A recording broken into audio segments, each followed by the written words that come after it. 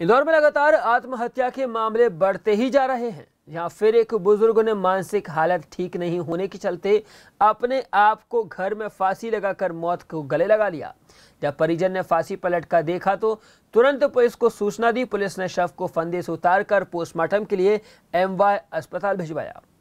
इंदौर के हीरानगर थाना क्षेत्र में रहने वाली बुज़ुर्ग पैंसठ वर्षीय महिला लक्ष्मीबाई ने अपने घर में फांसी लगाकर अपनी जीवन लीला समाप्त कर ली। मृतिका महिला की पिछले पाँच दिनों से दिमागी हालत ठीक नहीं थी जिसके चलते उसने यह कदम उठाया फ़िलहाल पुलिस ने मर कायम कर जाँच शुरू कर दी क्या उम्र थी इनकी? पैंसठ वर्ष। और कैसे डेथ हो गई इनकी? उनने गले पर रस्सी बाँध के जान दे दी। क्या वजह बनी? वजह कुछ नहीं माइंड डिस्टर्ब हो गया था उनको पाँच छः दिन से। कोई पारिवारिक कारणों के चलते है कोई बात नहीं, अच्छा, कौन कौन है परिवार में इनके? कितने बच्चे इनके? तो चार बच्चे हैं इनके। दो लड़की है दो लड़के। हैं। किन्ने देखा था सबसे पहले? सबसे पहले परिवार वालों ने सबने देखा था। अच्छा। कहाँ रहते हैं आप लोग? हीरा नगर में।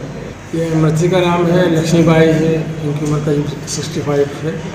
तो ये घर पे सुसाइड कर लिया।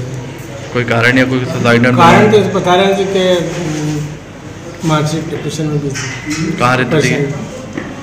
ये रहती थी अपने हीरा नगर में चौसठ हीरा नगर